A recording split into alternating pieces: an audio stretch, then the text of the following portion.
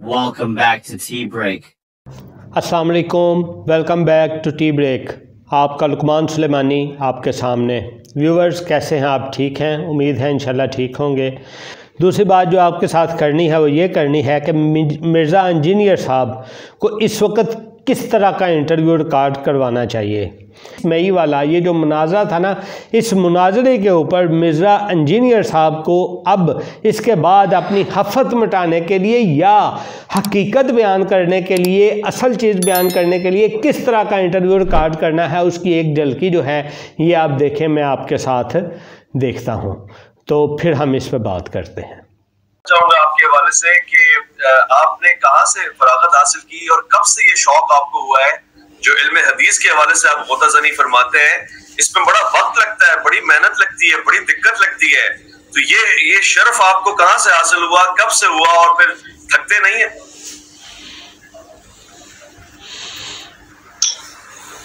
देखिए, बहुत शुक्रिया।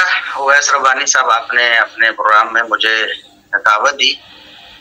तो सबसे पहले तो ये है कि दो जो दोस्त अहबाब हमारे बारे में हुसन जान रखते हैं और हमें सुनते हैं या हमें पढ़ते हैं तो उनका भी शुक्रिया अदा करना चाहूँगा। तो जहाँ तक ताल्लुक है, मैं तो बजाते खुद अपने आप को एक अदना सा तालब इलम समझता हूँ, हदीस।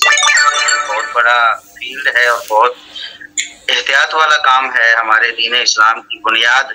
यानी कुरान करीम और रसूलुल्लाह सल्लल्लाहु अलैहि वसल्लम की हदीस और सीरत पर है तो इसलिए मैं कोई बड़ा स्कॉलर होने का दावेदार नहीं हूँ। लोग समझते हैं और मुझे अल्लाह रब्बुल इज़्ज़त उनकी तवक़ुआत पर पूरा उतरने की तोफ़ी अता फरमाए।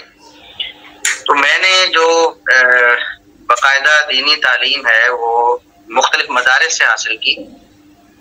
जिसमें हिफ्स कुरान है, वो मैंने ज़िला कसूर के एक कस्बा राजा जंग के एक इदारे दारुल सुन्ना से किया। उसके बाद फिर मैंने चूँकि उससे पहले मैं मैट्रिक कर चुका था साइंस के साथ तो उसके बाद फिर मेरा शौक था दीनी तालीम के हवाले से। मैंने एक साल तजवीद का कोर्स किया जामिया लाहौर इस्लामिया, लाहौर से।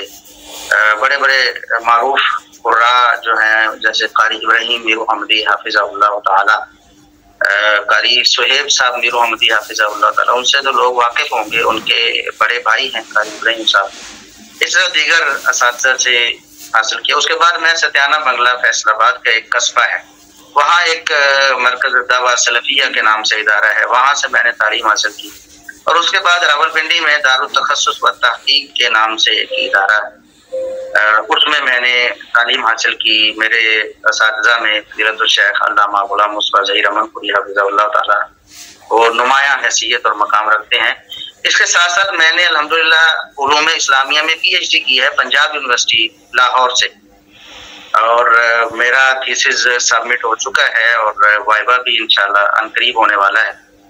तो ये छोटा सा सफ़र है मेरा। बाकी मुझे तकरीबन कोई बीस साल हो गए हैं इल्म हदीस के हवाले से काम करते हुए। यूँ समझिए कि सीखते हुए। तो उस हवाले से हम कुछ लिखते रहते हैं, पढ़ते रहते हैं। हदीस की हजियत के हवाले से और हदीस पर शुभात और इतराज़ात के हवाले से मैंने 2010 में एक किताब मुरतब की थी, सही बुखारी का मुताला और कितना इनकार हदीस। जिसमें बुनियादी तौर पर एक किताब थी, सही बुखारी का मुताला के नाम से।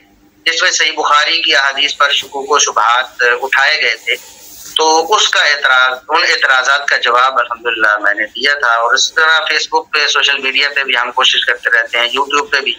कुछ ना कुछ बोल कर कुछ ना कुछ लिख कर अपना हिस्सा रसूलुल्लाह सल्लल्लाहु अलैहि वसल्लम की अहदीस के हवाले से डालते रहते हैं।